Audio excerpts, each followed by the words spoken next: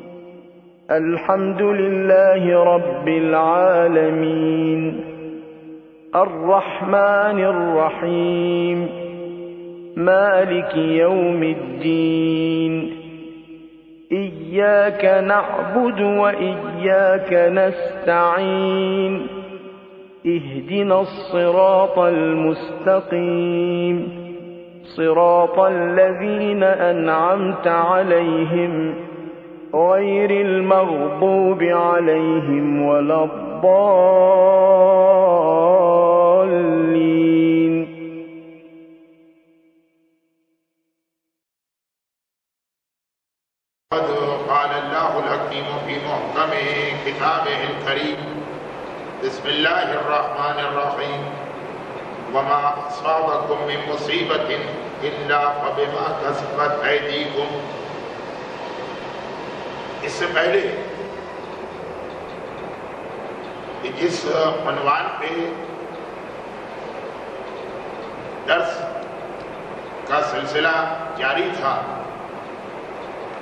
उस पर बात आगे बढ़ाया जाए इससे पहले एक ऐसे मसले शरई का एक बयान कर दिया जाए कि जिसमें शाहिद हमारा, यानी अहले बैत के मानने वालों का, फ़िक़्ह जाफरी का मसला शायद दूसरों से अलग है। और वो मसला ये है कि शहीद राह खुदा, जो आदमी अल्लाह के रास्ते में शहीद होता है, न उसके लिए गसल है, न उसके लिए कफन है। नमाज़ जनाजा पढ़ी जाएगी और उसको उसके अपने कपड़ों में दफन कर दिया जाएगा। अगर ये मसला तो तमाम मुसलमानों के यहाँ तयशुदा इसमें कोई इख्तलाफ नहीं। लेकिन शहीद किसे कहते हैं? एक तो बाकायदा वही शहीद कहलाता है जो सबसे पहले जहन में आता, यानी काफिरों में और मुसलमानों में, इस्लाम की खातिर कोई जंग हो रही, जैसे बद्र बहुत खंदा खैबर, हुनैन करबला तो काफिरों और मुसलमानों में, या मुनाफिक मुसलमानों इस्लाम की खातिर कोई जंग हो रही है? और उसमें लड़ाई के दौरान जो आदमी मारा जाए, वो शहीद राह खुदा। और उसके बारे में दो चीज़ें। एक, उसकी फजीलत, उसका सवाब, उसका रुतबा, जन्नत में उसका दर्जा। और एक, उसके शरई अहकाम। तो शरई अहकाम तो ये कि अगर मैदान जंग में, लड़ाई के दरमियान। मारा गया तो ना उस पर, ना उस पर उसने मैयत है और ना उसके लिए कोई कफन उसका लाशा पहले मरहले से ही पाक और पाकिदा ये तो आपको मालूम होगा ही कि आम मुसलमान और मोमिन। हत्या ये कि अगर कोई नाइब या हमारे मर्जे में, या एक आम मोमिन दुनिया से रुखसत हो जाए तो उसका लाशा नजीस हो जाता। है और जब तक के मैयत को तीन मरतबा एक खास तरीके से हुस्न मैयत न दिया जाए, वो नजिस भी रहता है। और जो इस मैयत को छू ले वो छूने वाला खुद भी नजीस हो जाता चुनाच मुर्दे को गौसले मैयत दिया जाएगा और छूने वाले गौसले मसे मैयत करना पड़ेगा। अब इसकी बहरहाल एक तफसील है, वो हर हर मुश्तैद किताब में आपको मिल जाएगी। लेकिन शहीद राय खुदा। ना उसे गौसल मैयत दिया जाता, इसलिए कि वो पहले के मरहले और पहले सेकेंड से ही पाक। और न ही उसके छूने पर हमारे और आप पर कोई गौसल मसे मैयत वाजिब हो। लेकिन शर्त ये कि वो मैदान जिहाद में लड़ाई के दरमियान मारा जाए। चुनाच अगर कोई मैदान बहुत बदर खंदक में जख्मी हो गए लड़ाई खत्म हुई। और आधे घंटे के बाद मारा गया। उसी लड़ाई में जख्मी हुआ। कोई ऐसा नहीं है कि महल्ले में, दुकान में, बाज़ार में किसी झगड़े के नतीजे में जख्मी हुआ। उसी जंग उन्हीं काफिर के जलाए हुए थे। या उन्हीं काफिरों की लगाई हुई तलवार से ये जख्मी हुआ। और इसी जख्म के नतीजे में मरा। और उसी दिन मरा। बस जंग खत्म होने के पंद्रह मिनट के बाद, दस मिनट के बाद इसे हुसन मैयत देना पड़ेगा इसे कफन पिन्हाना पड़ेगा खैर नमाज़ जनाजा और कब्र में दफन करना तो हर शहीद के लिए वाजिब। है वो खुलासा ये एक तो शहीद की फजीलत। उसका रुतबा, उसके खून का पहला कतरा ज़मीन में गिरते ही उसके सारे गुनाह माफ़ वो मरते ही जन्नत में चला जाता। अल्लाह की जन्नत, अल्लाह की हूरें, अल्लाह की नेमतें उसका इंतज़ार करती। ये तो है उसकी फजीलत। और उसे हुस्न कफन नहीं दिया जाएगा। ये है उसके अहकाम। लेकिन अभी आपने सुना कि अहकाम तो फकत उस मरने वाले के लिए है जो मैदान जिहाद लड़ाई के दरमियान मारा जाए हाँ जो जंग के बाद मारा गया, फजीलत उसको वही मिलेगी, सवाब उससे वही मिलेगा। लेकिन दुनिया के अहकाम उसके लिए हमारे और आप जैसे हो। ये तो हुई एक बात।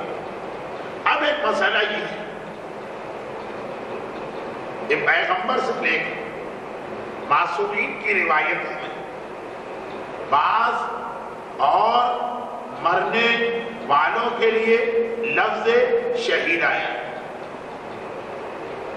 पहला शहीद वो है जो काफिरों से लड़ता हुआ मैदान में मारा जाए लेकिन बास और मरने वालों के लफ्ज शहीद रिवायतों में आया मसलन जलजले के नतीजे में मरने वाला शहीद है, जो इस वक्त पाकिस्तान में सबसे सबसे ज़्यादा अहम मसला बन गया।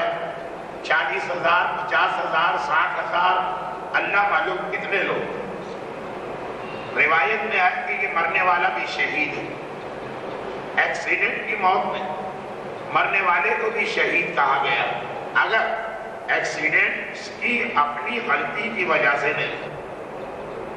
इसी तरह कोई आदमी कहीं बैठा और मकान या दीवार उस पर गिर पड़ी और वो मर गया, उसे भी शहीद कहा गया।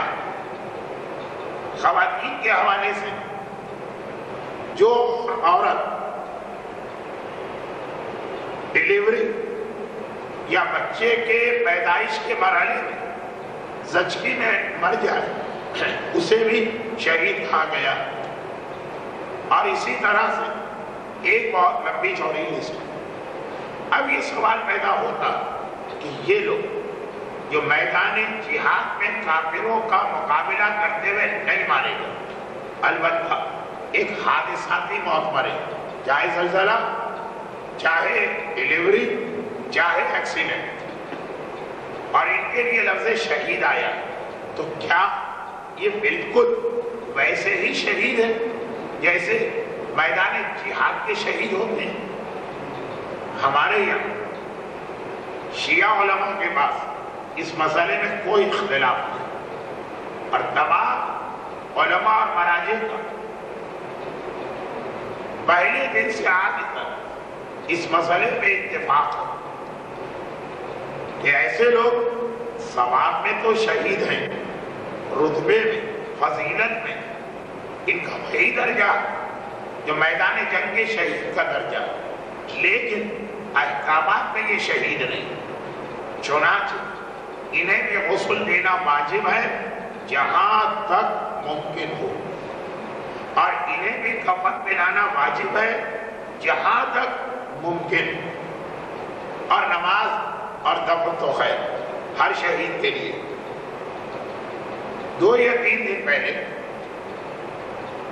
पाकिस्तान टेलीविज़न के किसी प्रोग्राम में पाकिस्तान की एक मशहूर सोशल वर्कर शख्सियत अब्दुल सत्तार एधी ये फरमा रहे थे कि जो जलजले से मरने वाले भी शहीद होते हैं, इसलिए उनके लिए कोई कफन भिजवाने की ज़रूरत नहीं। उन्हें कफन नहीं दिया जाए। उन्हें गुस्ल मैयत नहीं कराया जाएगा। जिस हालत में उनकी लाशें या डेड बॉडीज मलबे से निकली, इसी हालत में नमाज़ जनाजा पढ़ के दफन करेंगे। जो अब्दुल सत्तार ही थी, कोई आदिम, कोई मुफ्ती नहीं है। इसलिए मैं नहीं कह सकता कि वो अपने मज़हब का मसला बता रहे हैं। ये वाकान उनके मज़हब का मसला है, या कोई गलत फहमी? इसीलिए मैंने शुरू में कह दिया था कि शायद हमारे फिका का मसला दीगर फिका से मुख्तलिफ़ हो। शायद मैंने इसीलिए कहा था अगर वाकन ईदी साहब ने जो फरमाया ये उनके मज़हब का भी मसला है तो यकीन हमारी और उनकी फिका में इख्तलाफ हो गए और अगर नहीं ये उनके मज़हब का मसला नहीं ईदी साहब गैर आलिम होने की बिना गलती कर गए तो फिर हमारा और उनका मसला ठीक है। खैर, हमें इस वक्त फकत अपनी फिका के मसले से सरोकार हमारी फिका इस जलजले के नतीजे में अपनी जान देने वाले तमाम मुसलमानों गौसल और कफन वाजिब अच्छा अब ये मसाइल तो एक ऐसी चीज़ है कि एक से दूसरा, दूसरे से तीसरा मसला निकलता ही जाता और बात लंबी होती जाती। यहाँ पे ये बात भी याद रखिए। जब गसलो कफन, खाली, ऐसा नहीं है कि अपनी बरादरी, या अपने खानदान, या अपने मज़हब वालों का वाजिब। ऐसा नहीं। कि शिया मरे तो उसी को गसल देना। नहीं, कोई कलमा को मुसलमान। हमारे फिरके से ताल्लुक रखता हो कि ताल्लुक न रखता हो। हमारे मज़हब से ताल्लुक रखता हो कि ताल्लुक न रखता हो। अगर दीन इस्लाम पर मरा तो तमाम मुसलमानों और तमाम मोमिनों और तमाम मोमिनात पर यह वाजिब है कि उसके गसल का इंतज़ाम किया जाए और उसके, उसको कफन दिया जाए। अलबत् हर वाजिब की तरह। ये भी उतना ही वाजिब है जितनी हमारी हैसियत और इस्तेदाद है। अब ये तो नहीं हो सकता ना कि हमने और आप में से कोई आदमी चालीस हज़ार मरने वालों के कफन का इंतज़ाम कर लेकिन जितनी हैसियत, जितनी इस्तेदाद, जितनी ताकत, ये नहीं कि अगर सुन्नी भरे तो उसका कफन सुन्नियों पर और शिया भरे तो उसका कफन शियों पर। नहीं, हर मुस्तैद की किताब में देख ली। कोई मुसलमान मरता, उसका गसल और उसका कफन। वाजिब किफाई सारे माशरे पर वाजिब। हर आदमी अपनी हैसियत के मुताबिक इसमें हिस्सा ले। तो ये भी मुमकिन है कि गैर शिया फिका के एतबार से इनमें कफन वाजिब ही ना हो। लेकिन इस जलजले के नतीजे अभी तक जो कहा जा रहा, अगर पचास हज़ार अमवात हुई तो कम से कम आधी, यानी पच्चीस हज़ार। तो शिया मोमिनीन और मोमिनात है कि जो दुनिया से रुखसत हुए यानी कम अज कम इन पच्चीस हज़ार के हवाले से कोई फिकी इख्तलाफ है थी इन्हें गसल भी दिलवाना है और इन्हें कफन भी देना ये तो हुआ है फिकी मसला, जो इसलिए भी मैंने बयान करना मुनासिब समझा। फिर टेलीविज़न पर एक मोहतरम शख्सियत के हवाले से मसले का एक हिस्सा आया तो मैंने चाहा कि मसले का वो हिस्सा भी आ जाए, जिसका ताल्लुक हमारी फिका से और ये इसलिए भी मैंने बयान किया ये मसला।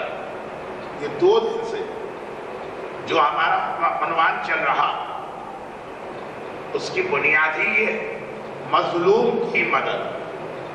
गर्ज मैंने ये दो दिन एक जुमला कहकर जरा से अपने मौजू को बदला हुआ कि सबसे बड़ा मजलूम तो इस्लाम लेकिन इसका मतलब ये नहीं है कि बाकी कोई मुसलमान मजलूम नहीं। सबसे बड़ा मजलूम, वो अपने मौके पे बात आएगी आज ये जलजले के मसले की वजह से सबसे बड़े मजलूम को छोड़ो।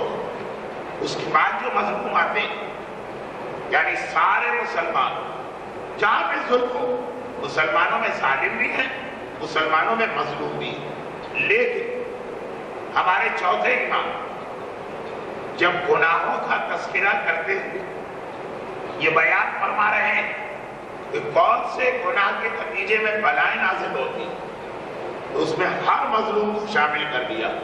तर्क एहानतिल मजलूम। या अगर कोई मजलूम तुम्हारे साथ मोहताज मदद है, चाहे वो इस्लाम हो, चाहे वो एक आम मुसलमान अगर तुमने उसकी मदद, हैसियत और ताकत रखने के बाद भी नहीं फिर तुम्हारे घर में बलाएँ आए तो शिकवा न करो। फिर तुम्हारी दुआएँ रद्द की जाए तो शिकवा न करो। फिर अगर तुम्हारी रोजी तंग हो जाए तो शिकायत न करना। पर एक बात याद रखो, राह खुदा में अपने पैसे को खर्च कर। अब कुछ हालात, अब जलजला।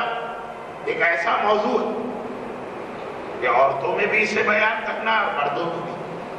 तो अगर कोई ऐसे खातून हैं जो मेरे एतबार से शायद कोई भी नहीं होगी लेकिन अगर है तो यहाँ भी आए और रात को भी आए तो एक आध एक आध बात उन्हें ऐसी लगेगी जो मुश्तरक हो जाएगी। लेकिन मजबूरी जब वाकया, जब सालेहा, जब हादसा, जब मुसीबत, जब ट्रेजेडी एक ही माहौल में, एक ही वक्त में पेश आए। तो चाहे पूरी तकरीर में जैसी ना कर एक आध एक आध जुमला तो तकरार हो ही जाएगा। तो खुलासा ये कि माह मुबारक रमज़ान, ये तो महीना ही ऐसा है कि जिसमें हमें अपनी दुआएँ कबूल करवाना शब कदर आने वाली, शब कदर की लोग तैयारी कर रहे हो, शब कदर तो हाई दुआ के लिए बात, और दुआ कबूल होती नहीं। जब तक कि आप मजलूम की मदद ना करें और माह मुबारक के रमज़ान। अहम तरीन इबादत, रोजा। और रोज़े का एक मकसद, जो पहली मजलिस में आया था, एक हदीस की रोशनी, वो ये भी है कि अल्लाह ने इसलिए रोज़े फ़र्ज़ किए, ताकि जिनके घर में फ़िलहाल कोई परेशानी नहीं, उन्हें एहसास हो। जिसके घर में सारा साल खाने और पीने को नहीं, जिसका सारा साल रोज़े के आलम में गुजरता, उसकी क्या हालत? एहसास लफ्ज असल में लफ्ज क्या है? पैसे वालों को, हैसियत वालों को, आराम से बैठने वालों को एहसास हो जाए कि जिसके घर पे मुसीबत आती है, उसकी क्या हालत होती है? तो रोज़े वाजिब होने का मकसद हमारे एहसास को बेदार करना। माह मुबारक के रमज़ान शब कदर का मकसद, हमारी दुआएँ कबूल करवाना और इन दोनों की ये ज़रूरी है कि आदमी अपने चारों तरफ़ देखे। मुसीबत ज़्यादा और परेशान हाल और मजलूम साहिबान ईमान की मदद कर। दे यहाँ ये वाकया इतना मशहूर है कि इसे बयान करने की ज़रूरत नहीं फिर भी बयान कर रहा हूँ। लेकिन इसकी शोहरत की वजह से बहुत ही मुख्तसर कर राह खुदा, में अपना माल खर्च कर क्योंकि इस्लाम में इसके लिए जो लफ्ज आया, वो बड़ा अच्छा लफ्ज लेकिन हमारे माशरे में उस लफ्ज को इतना हकीर बना दिया गया कि जबान में लाते हुए भी अच्छा नहीं लगता। इस्लाम खालिश नियत के साथ, अल्लाह की खुशी की खातिर, अल्लाह के रास्ते माल खर्च करने सदका और खैरात देते हमारे यहाँ भी मुसीबतें और बलाएँ दूर करने के लिए जो कुछ दिया जाए उसका नाम सदका और खैरात है। सदका और खैरात इस्लाम के एतबार से बेहतरीन इबादत और बड़ा पाक और पाकिजा लफ्ज है। खैरात। खैरात का मतलब है, ये लफ्ज निकला खैर से। नेकी, खैरात माने नेकियाँ। हमारे यहाँ खैरात यानी भी बला टालने के लिए किसी को रुपए, दो रुपए दिए, पाँच रुपए दिए और भगा दिए ये नहीं, खैरात, खैर खैर की जमा। अरबी जबान जमा बनाने का एक तरीका यह है कि आखिर में अलिफ से बढ़ा दी मोमिना मुसलमान उसी तरह खैरात निकिया और सदका सदका वो अमल के परवरदिगार को खुश करे। इसीलिए हदीस में अपने मोमिन भाई को देखकर मुस्कुरा देना भी सदका। हमारे यहाँ सबका वक़्त उस चीज़ का नाम, जो भंगियों को दिया जाए, हिंदुओं को दिया जाए, काफिरों को दिया जाए। सदका, इस्लाम में इसकी एक अपनी हैसियत है लफ्ज खुलासा ही। पाकिजा ताहिर लफ्ज, सदका और खैरात। इतनी ताकत रखता इतनी ताकत रखता कि जिसे कोई नहीं टाल सकता, सदका और खैरात उसे भी टाल देता। लेकिन ताकत इसी को कहते हैं ना।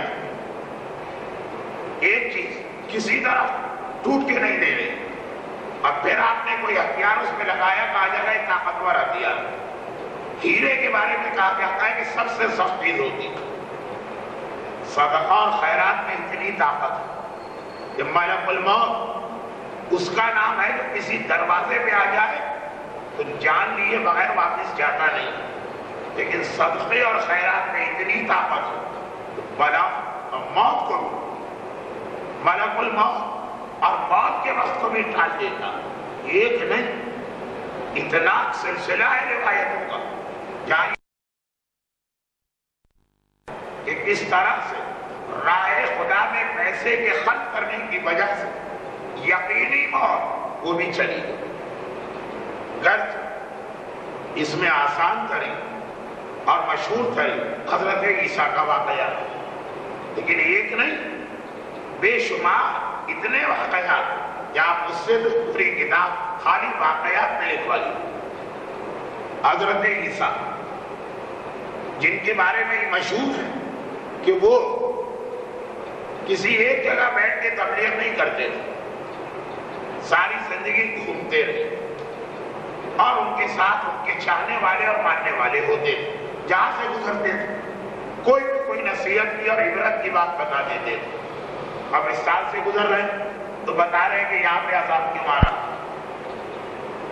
किसी और कब्रिस्तान से गुजर रहे तो बता रहे हैं कि इस मरने वाले पे रहमत क्यों आ रही आज गुजर रहे शादी के घर के सामने से। खूब धूप लड़का। बारात वापिस आ रही है दुल्हन को ले। चुना। सारा महल्ला सारे घर वाले एक बात खुशी की आदत है, जो बारात के मौके पे एक समग्र मंजर बन जाता हज़रत ईसा घर के सामने से गुजरते गुजरते खाली इतना कह गए। कि आज जो इतनी खुशी मना रहे हैं और दुल्हन बुलाने पर इतने ज़्यादा मसरूर नज़र आ रहे हैं। कल इसी घर से, इसी दुल्हन का जनाजा निकल रहा होगा। और ये लोग जितने आज खुश हैं, कल इतने ही गमगीन होंगे। खैर, नबी ने एक बात कही, मानने वालों का और चाहने वालों का मजमा हर एक ने यकीन कर लिया और हज़रत ईसा अपने तरीके के मुताबिक ये बात कह के आगे चले। खत्म बात। तो रोज़ाना यही होता। हज़रत ईसा यहाँ से जाते हैं, कोई ना कोई बात कह के चले जाते खत्म बात। अगले दिन इतफाक से उन लोगों में से एक आदमी जो कल भी हज़रत ईसा के साथ था, उनमें से इतफाक किसी और काम से यहीं से गुजरा। ये नहीं कि नबी की बात को चेक करने के लिए। वैसे किसी और काम से। अब जा रहा चलते चलते शादी का घर नज़र आया एकदम से याद आ गई। अरे, हमारे नबी ने तो कहा था कि आज दुल्हन मर जाएगी और उसका जनाजा उठेगा। लेकिन अब जो उसने देखा कहीं से जनाजे के आसार ही नज़र नहीं आ रहे। वही खुशी, वही लाइटिंग वही नए लिबास वही पक पक के अच्छे अच्छे खानों का आना वही बच्चों को तालियाँ बजाना। हर वो मंजर जो कल था, वही आज है। अब उसने किसी से पूछा कि भाई, यहाँ खैरियत तो है? ये तो नहीं पूछ सकता था कि दुल्हन ज़िंदा है कि मर गए इतने जूते पड़ गए। पूछा कि खैरियत तो है? लोगों ने कहा, खैरियत है। भाई, ये सारी खुशी कहा कि हाँ कल दुल्हन आई थी। और आज भी वही जश्न चल रहा अब ये आदमी किसी और काम से जा रहा जैसे ही ये बात सुनी, इतनी अजीब लगी ये बात। उल्टे कदमों वापिस हो हज़रत ईसा जहाँ बैठे थे, वहाँ पे। क्या नबी अल्लाह, आपने जिस दुल्हन के बारे में कहा था कि आज वो मर जाएगी, वो तो खैर आफियत के साथ बैठी। हज़रत ईसा फ़ौरन अपनी जगह से खड़े हो गए। क्यों? नबी और इमाम। उनकी बात सारा वज़न इसी, उसी वक्त तक होता। जब तक के मानने वाले को इन पे यकीन हो कि जो ये कह रहे हैं, सच कह रहे हैं। इसीलिए हर नबी की खासियत है कि वो सादिक होता। बैत का अहम तरीन लकब है सादिकीन। हज़रत ईसा ने दिल में सोचा कि ये मेरे चाहने और मानने वाले, अगर इनके दिल में कहीं यह ख्याल आ गया कि जिस नबी एक दिन की बात सच्ची ना निकली तो वो जो कयामत की बात कर रहा है, लाखों साल बाद की, वो कैसे सच निकलेगी और एक बार शक आ गया, बस नबूवत का सारा एतबार खत्म हो जाता। चुनाच फ़ौरन खड़े आओ चलो मेरे साथ। घर में दाखिल अब महाराज, हज़रत ईसा की एक इज़्ज़त और एक देना, चुनाच साहिब खाना घबरा गए, खुश हो गए। या नबी खुदा मेरी खुशकिस्मती कि आप मेरे घर में शरीफ लाए आज मेरे नसीब क्या उठे, कि आपके कदम मेरे घर में पहुँचे। फरमाइए, कैसे जहमत की?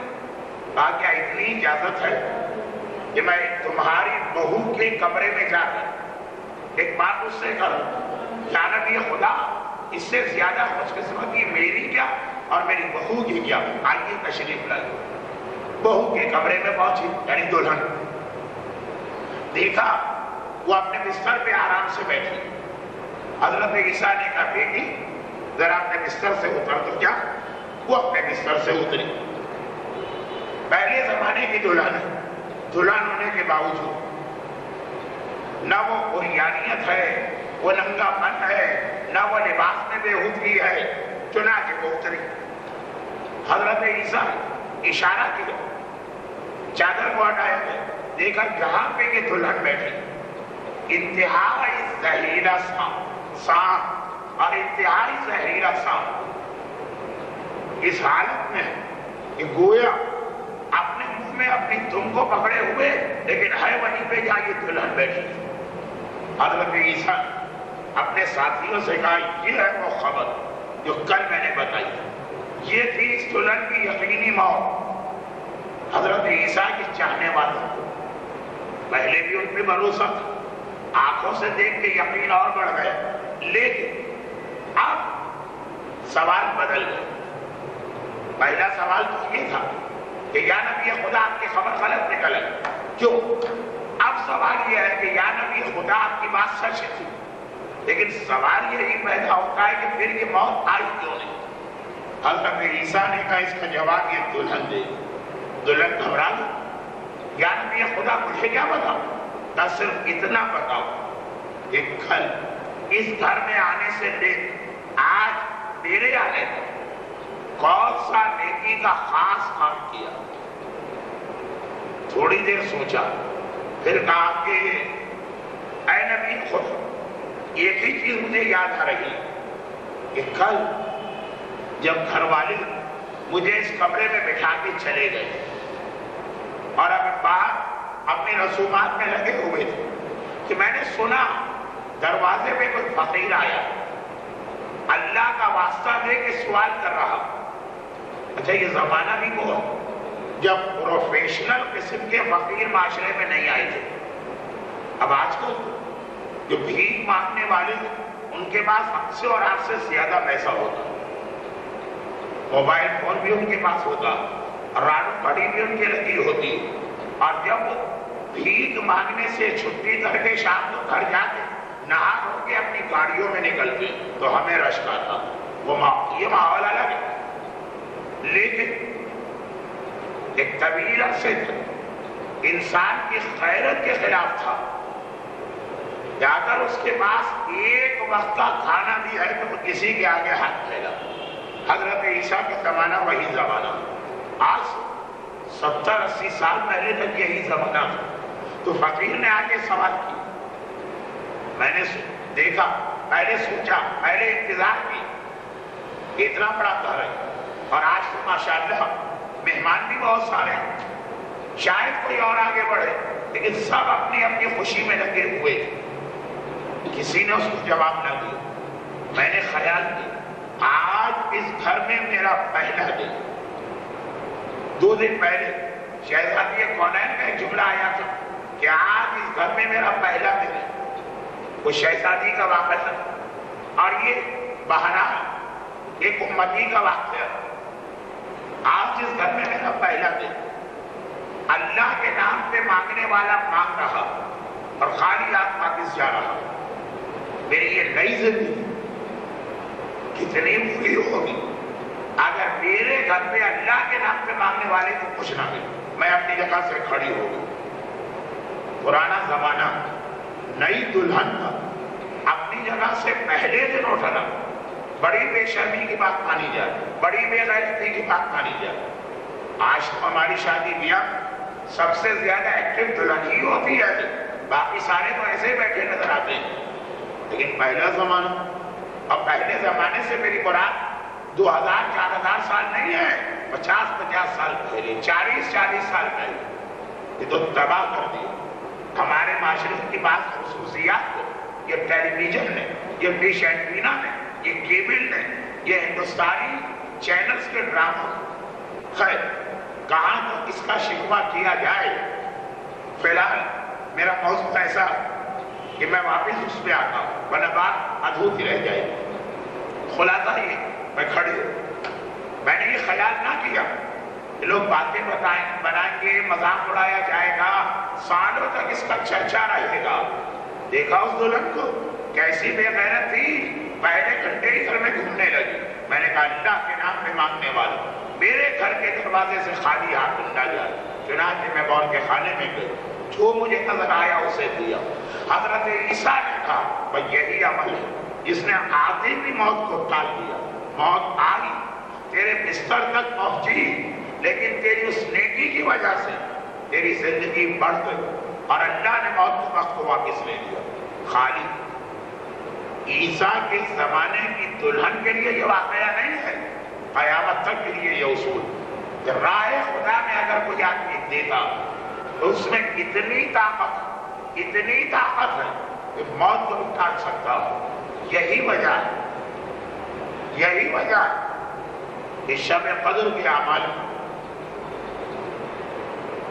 ये मसला है कि उस रात को खास तौर पर अलग से एक सदका निकालो हमारे यहाँ चूँकि लोगों की मालूम तो ज़्यादा है और उतना करते हैं जितना किताब में लिखा।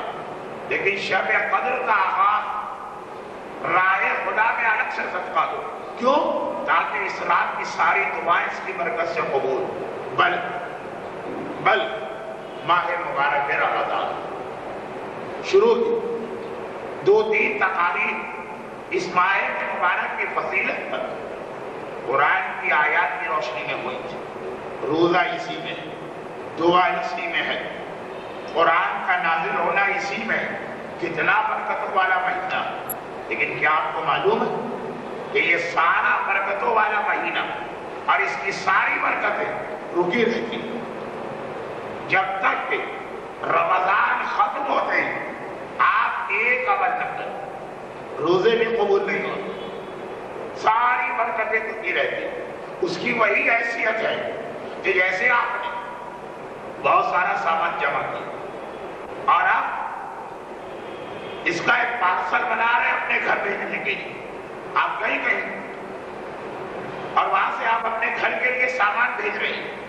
वहाँ की मार्केट आपने देखी नई नई चीज़ें नज़र आई सबको जमा कर अब आपको आना है छह महीने बाद या एक साल बाद। आपका दिल चाहता है ये सामान घर पहले पहुँच जाए। सामान जमा पार्सल बना अब जब तक इस पे आप टिकट नहीं लगाएँगे, ये सारी आपकी मेहनत साई हो तो रमज़ान की सारी इबादत चाहे रोजा चाहे तिलावत कुरान चाहे दुआएँ चाहे अमाल ये सब उस वक्त कबूल होते जब रमज़ान खत्म होते ही आप इसमें टिकट लगा और उस टिकट का नाम है फितरा। फितरा इसी चीज़ का नाम कि माह मुबारक की सारी इबादतें खास तौर पर वो उस वक्त तक अल्लाह की बादशाह में नहीं पहुँचेंगे, जब तक कि आप अपने माल खर्च करने की आदत पैदा न करें। परसों, रात के मर्दों की दर्ज में तो उसी तरह से कुरान खोल मैंने वो आयतें पढ़ी थी। जैसे खातन के दर्ज में तीसरी तक थी। मैंने कुरान खोल के रोज़े की आयतें पढ़ी थी। जो आयतें मैंने आपके यहाँ पढ़ी थी, उसके बाद की आयतें मैंने मर्दों के दर्ज में पढ़ी और जहाँ रोज़े की आयत मुकम्मल होती, फ़ौरन ही आयत आती वह अन सभी